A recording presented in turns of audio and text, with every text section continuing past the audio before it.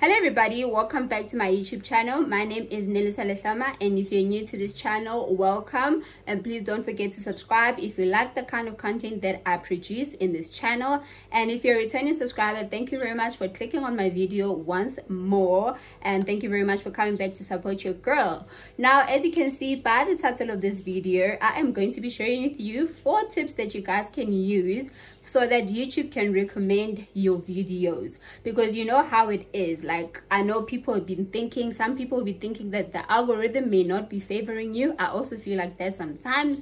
But then since I implemented these few tips I've seen that the algorithm is now in my favor and my videos are starting to pick up. Now guys um the first tip that I can tell you after uploading your video um, please do try to not share your video to any platform. When i say any platform i'm talking about your tiktok your whatsapp your facebook and your instagram. Do not share your link yet. Just let youtube give youtube a few hours to just recommend the video naturally by itself because that's gonna help you for your videos to reach as many people as possible. Because after uploading your video youtube recommends it to your subscribers first and then it goes to new viewers. So now the moment after you you upload your video and then you share it to other platforms and then youtube is gonna see that okay so this person does not need my help because they can find their own um they can outsource their own viewers from from wherever like from other platforms from whatsapp from tiktok from instagram. So like youtube now lets you do your own job. So like so it really helps um for you to let youtube do their job um, recommending your video and that's gonna help your video a lot. Now the second thing that you can do you can create a short um, a short form video. It's a short um, that you can use to let people know about the video that you have uploaded. So um, it's a short that leads people to your long form video. So you can create a short um regarding or in regards with your long form video just letting people know to come to your channel and come and view that video. Now tip number three that you can use um let's say after a day uh 24 hours you come back to your video and you see that there are a couple of comments that you have um from people positive comments you can go ahead and pin that comment. Pin that good comment that you have on that video. That's gonna help people to want to watch the video video.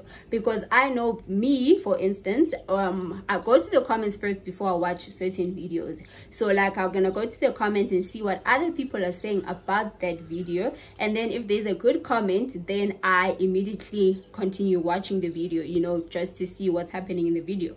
But then yeah like you can also do the same thing. Sometimes you find that you don't have any comments at all. So what you can do is let's say you've got two youtube um accounts. You can post um upload the video with your current youtube account and then go switch to that to your other youtube account and then go leave a good comment for yourself about that video. That's going to encourage people to watch to watch your video to continue watching your video.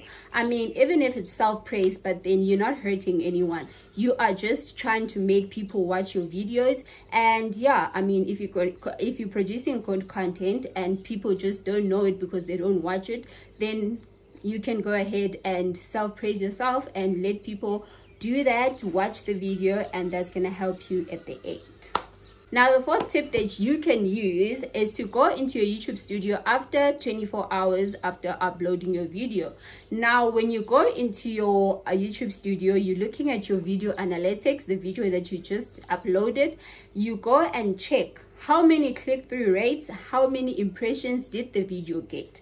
Now when i talk about a click-through rate i am talking about the people that clicked onto your video and watched it and then when i'm talking about impressions i'm talking about the people that saw your video the people that saw the video on their screen. You know how when youtube recommends the video will be showing the videos and then you choose which one you want to watch. So i'm talking about that the impressions people that saw it and the people that clicked on it. So let's say for instance you got a thousand impressions and then you only got 50 views um 50 click on views so that means that there might be something wrong with your video and you have to go and change maybe your title What's wrong, my boy?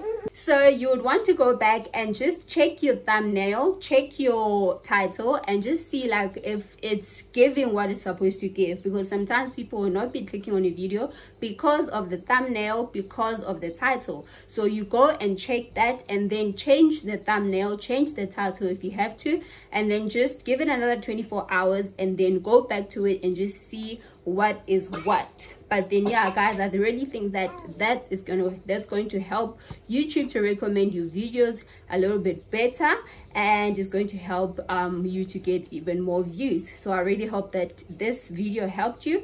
And if it did please leave a comment down below to let me know. And please don't forget to subscribe to my channel. And i'll see you guys in my next video